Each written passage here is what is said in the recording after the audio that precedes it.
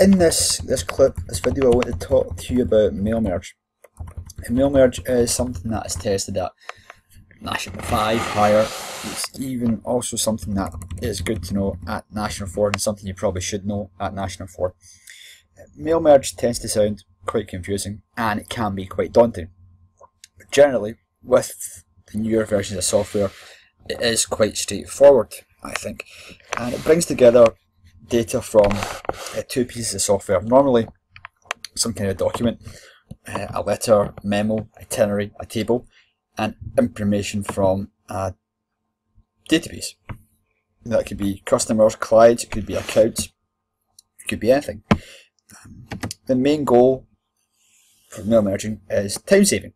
Now, rather than having to possibly create, edit, and amend 100 or 200 letters, you simply would merge one letter with your entire customer database and you would make several of them in a couple of minutes. And that's what I'm going to show you next. So normally for mail merge you may have to create a letter, type one up, or there'll be one saved for you depending on what the task what the task asks you to do. So here we have our saved letter.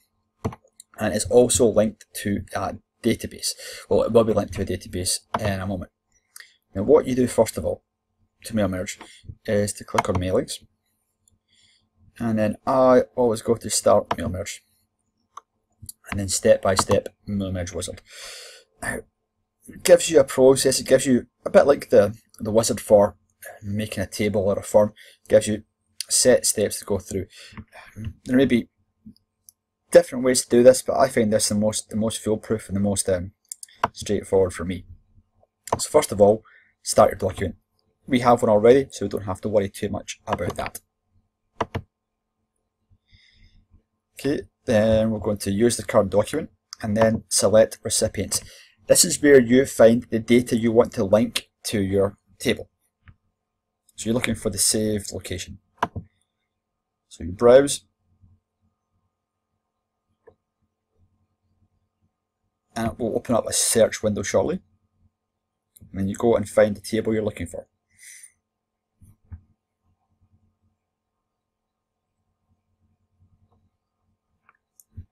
So what you're looking for is your saved location, wherever your data might be. And you find your file and then you just click open. And that'll bring up a window and it will show all the tables that are connected to that particular database. And you may have lots of them, maybe queries, there might be other tables, but we've got one and this is the one we're looking for, so we just click OK. And next, you know, it goes to write your letter, which we've done already. So what we want to do is to add in some merge fields. Now you can do it a different way. You can add it from over here in more items, but a simpler, more straightforward way is to go to merge fields, insert merge field. I think of this as setting up a normal address book. Think of it like a letter. You've got insert title, then surname, like so maybe add a space in there. And next, in a letter, you can start to work on the address. So you could have, let's see, street, let's put, then we'll have town,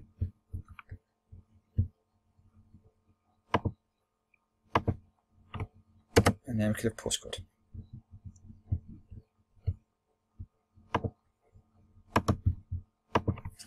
Out of there. And then don't forget to actually address the letter formally.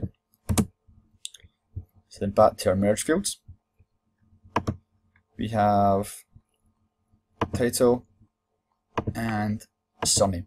Now these things here, these are called merge fields. Whenever you do mail merge, you have to print off normally two different things. One, show your merge fields, the evidence that you actually have undertaken mail merge. And then one particular record. If we say click here and preview our letters, we can see that some of the results have appeared right away. And if you cycle through, you can see it changes per person. And that's how you conduct a mail merge to identify someone else's information. And If at this stage you want to go back and add and amend or view your merge fields, if you just click back to previous and it shows you your merges. Um, this is really simple, really straightforward mail merge, sort of at national 4, national 5 level. Um, if you keep on clicking through and preview your letters, it does finish it for you. You can view all the ones you have to view. And then you can Uh, edit or print individual ones. Now, very important when you merge, you only print the one you have to be very careful when printing. Thank you. Hopefully this has been helpful.